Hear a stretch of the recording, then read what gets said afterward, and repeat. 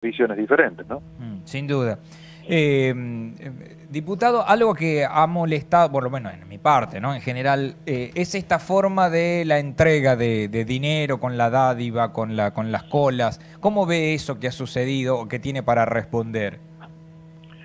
Mire, Nicolás, el, gobierno eh, ha empezado a, la gente ha empezado a, salir, estamos en el medio de una pandemia, eh, se ha comenzado a, mover un, sistema y, la, verdad, créanme que em, eh, por ahí en algunos lugares exceden o en algunos lugares, pero bueno, eh, la, idea es eh, en, este, en este sentido, no podemos negar que hay un gobierno que está presente, hay un gobierno que, que da respuesta, que ayuda y que por ahí excede, porque por ahí hay mucha gente que, que, sostiene, pero bueno, porque la está pasando mal y porque necesita la, la, ayuda del, del Estado, pero bueno, eh, en, eso hay que, por ahí los, eh, hay lugares donde exceden el, el tema de la, de la ayuda, pero bueno, hay una pandemia de por medio, se ha comenzado a, a, mover la gente, a, trasladar de un lugar a, a otro, y, bueno, eh, esto de, la, de, las ayudas no es la primera vez que sucede. Esto viene sucediendo y no es la primera, no es en campaña que esto sucede. Siempre se han entregado, se ha entregado ayuda social, se ha dado ayuda social y, es una ayuda social.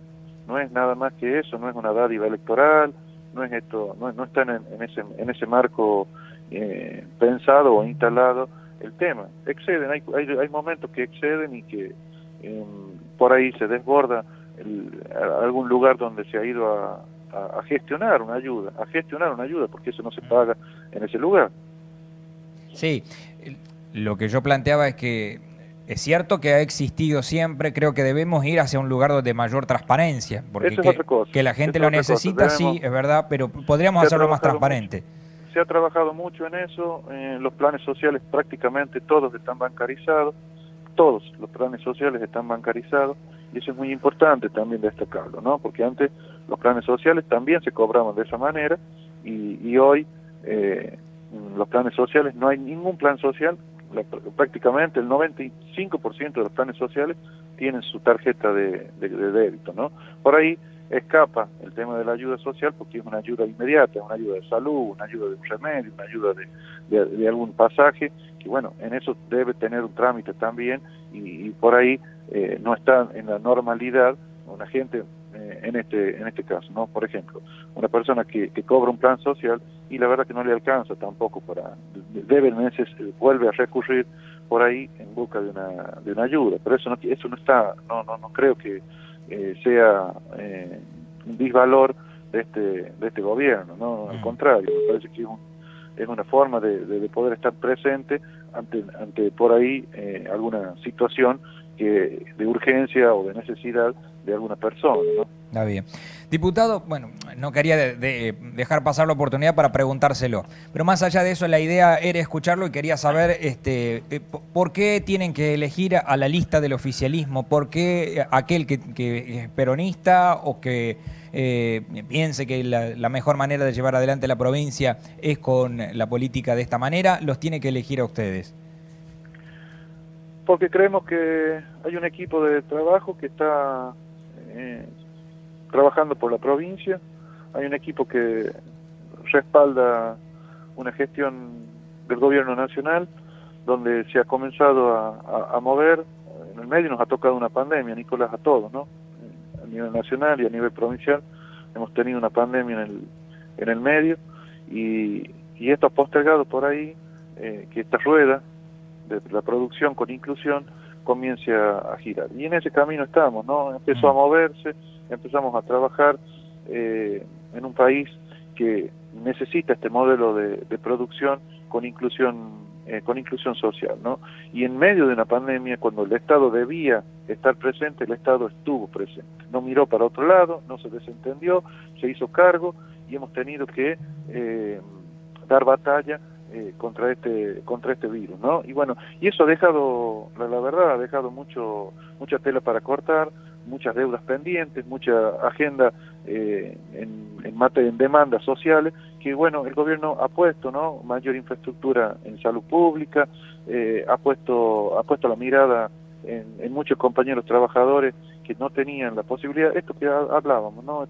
Esta, precariedad laboral, por ahí el gobierno la ha puesto en agenda y han comenzado la inclusión previo a la sanción de una ley de jubilaciones que le ha permitido descomprimir también en gran parte a los trabajadores del Estado, ¿no? Mm. Entonces, teniendo esos lugares ha podido incluir otra gente que venía, no fuimos a buscar otros más, fuimos a, reconocer a los que hace más de 10, 15, 20 años estaban trabajando con una, eh, cobrando de manera precaria.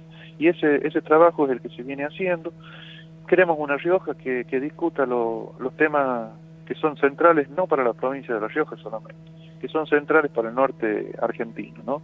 Tratar de disminuir esas asimetrías que existen entre el norte, en las provincias del norte argentino y las provincias del centro, esa, es eh, decir, discutir políticas regionales que mm, no, no políticas, el otro día estaba en UNIR, ¿no?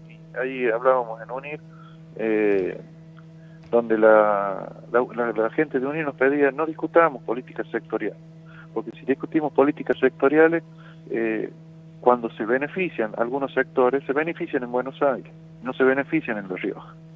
Entonces, discutamos políticas regionales.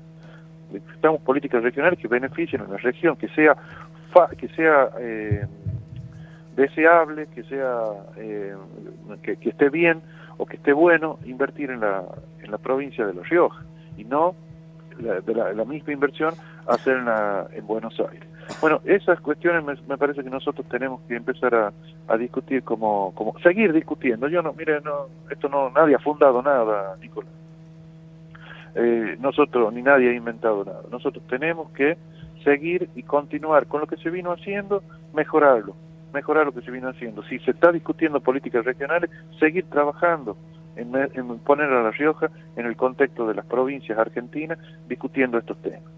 Esto es lo que nosotros por ahí pretendemos dentro de la Cámara de Diputados en el caso de que nos toque de que nos toque llegar. Somos personas de trabajo junto con Gabriela, no, no tenemos otra eh, eh, mirada más que el arremangarnos y ponernos a trabajar.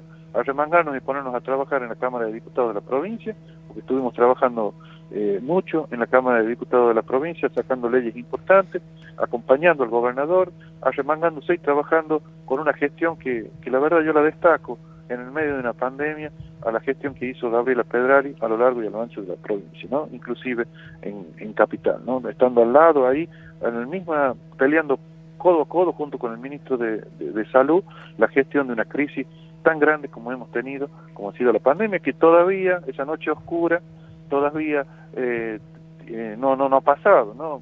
Seguimos con, eh, tenemos que avanzar, si bien el plan de vacunación ha sido muy bueno en toda la, en toda la provincia, tenemos que seguir profundizando los cuidados, tenemos que seguir porque vamos a vivir una nueva normalidad, vamos camino a una nueva normalidad, donde el barbijo, las medidas sanitizantes son eh, van a tener que ser habituales y además vamos a tener que empezar a mirar ya o a atender estas demandas que surgen por el solo hecho de comenzar a movernos, Nicolás, ¿no? bueno, y ahí es donde vamos. Eh, diputado, eh, va a ser interesante, es la misma charla que la podamos tener obviamente una vez que pasen las elecciones y discutir sobre cuestiones como por ejemplo esto de la entrega de dinero en, el Partido Justicialista y otras tantas que hacen al desarrollo de la provincia, eh, que siempre las discutimos, pero me encantaría que lo podamos discutir con alguien que está dentro del gobierno para poder decírselo. ¿sí? Así que agradecerle, en este caso la idea era, ya que escucharon a todos los demás candidatos, los que están en, los sectores opositores, queríamos que escuchen también al, oficialismo, eh, porque es una de las opciones y era válido tenerlo. Así que, diputado, agradecerle. Muchísimas gracias. ¿eh?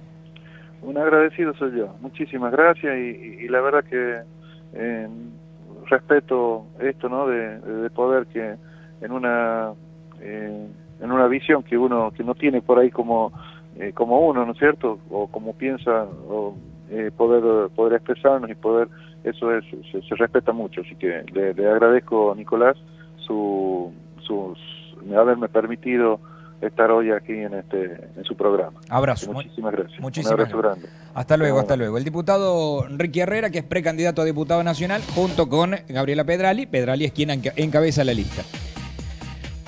En gran parte se da porque me acuerdo que ayer un oyente, eh, si no es Fabián, creo que, Sí. eh, que me planteaba lo del, lo del peronismo y todo lo demás, este, y, y que me, me quedó flotando, digo, bueno, este, el, el peronismo, eh, más allá que tenemos claras diferencias del oficial, en realidad del peronismo no, del oficialismo oficial- gobernante, ¿sí? Porque el peronismo es muy amplio.